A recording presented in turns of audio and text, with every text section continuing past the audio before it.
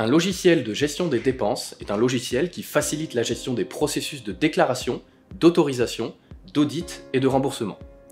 En somme, ces logiciels peuvent être obtenus auprès de deux types de fournisseurs différents. 1.